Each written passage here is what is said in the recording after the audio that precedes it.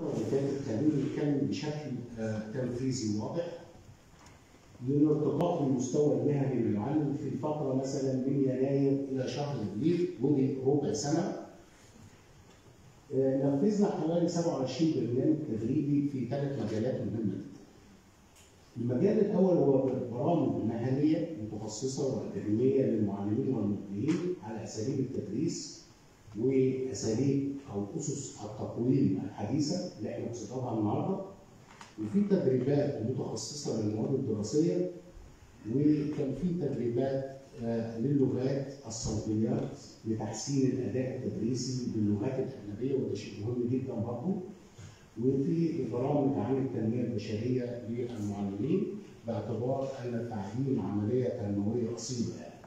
والتدريب على المناهج الجديده اللي هو 2.2 للصفوف الأولى. فكانت دي حزمة من البرامج مهنيه موجهه للسادة المعلمين والموجهين.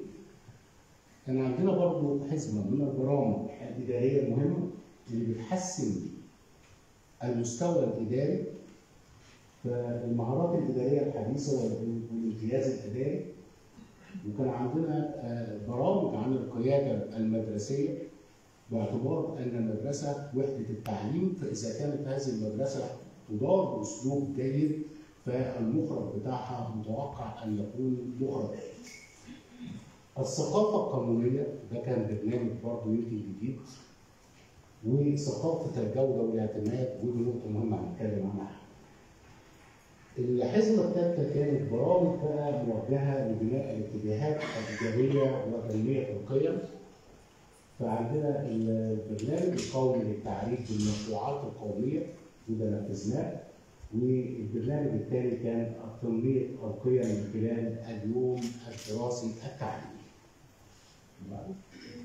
الموقف التنفيذي لكل هذه البرامج إحنا استهدفنا 7079 معلم من تم تدريبهم هو 6419 يعني نسبة الإنجاز في الثلاث شهور كان 91% في هذا العدد الكبير. الموقف بقى الإنجاز في ملف معايير الجودة والاعتماد لمدارس المحافظة ويمكن هذه الشريحة شريحة مهمة قوي وإن إحنا نتأملها كويس. الموقف التنفيذي للمدارس المعتمدة في محافظة بورسعيد رغم إن محافظة بورسعيد نقدر نقول أن البنية التحتية لجميع المدارس أو معظم المدارس أو غالبيه المدارس بنية جيدة وتسمح بان المدارس تعتمد بشيء من اليسر والسهولة. كان الموقف التنفيذي عندنا منذ شهرين 73 مدرسة معتمدة من إجمالي 517 مدرسة. يبقى نقدر نقول إن نسبة المدارس المعتمدة هي 14%. بعد نشر ثقافة الجودة وإجراء التدريبات للموجهين لمديرين المدارس ومسؤول الجودة ارتفع نتائج الاعتماد بتاعتنا إن شاء الله زائد في 18 مدرسة تم زيارتها خلال الاسبوعين الماضيين بإجمالي 59 مدرسة إحنا ننتظر اعتمادهم إن شاء الله. لما تعتمد ال 59 مدرسة دول هترفع لنا إن شاء الله نسبه الاعتماد من 14% إلى 25.5% ودي هتبقى نسبة برضه مرضية في هذه الفترة.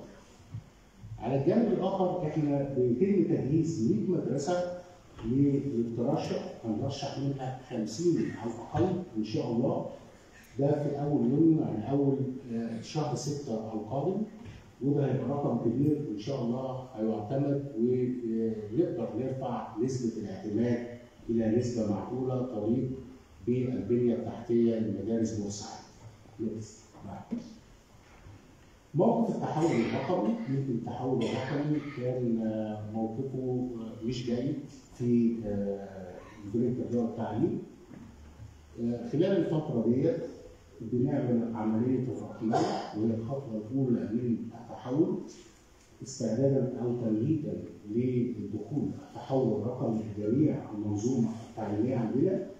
فان شاء الله في أول مايو جميع المؤسسات التعليمية اللي عندنا في المديريه دخلت في مرحلة الرقمنه. الأنشطة التربوية إحنا بنعيد استثمار الأنشطة التربوية المختلفة في بناء شخصية الطالب وتمكينه المهارات الحياتية زي مهارة التواصل ومهارة التعاون وإلى آخره من المهارات الحياتية ده من خلال الأنشطة التربوية وتنسيق القيم من خلال ممارسة الأنشطة وتنمية روح الانتماء.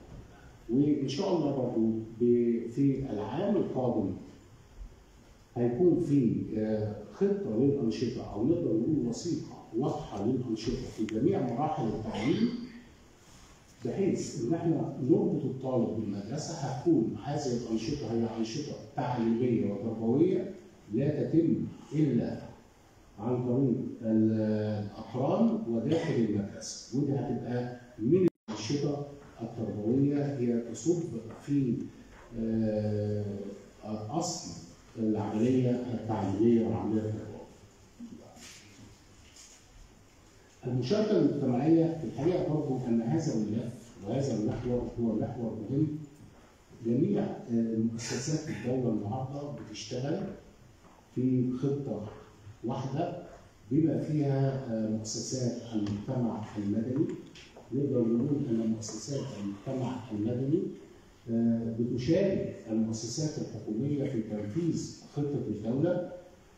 وطبعا عندنا هنا آه، يمكن أنا قلت أكثر من مرة أن بورسعيد تحظى بمشاركة مجتمعية فعلا فاعلة وعلى نطاق واسع.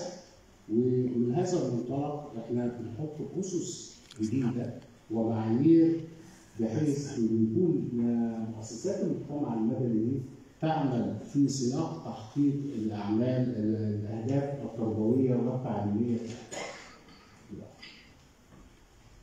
أساليب الإدارة. يمكن آه، إن حاجة مهمة جدا إن إحنا نطور نمط الإدارة التعليمية وده هنصب في مخرجات العملية التعليمية.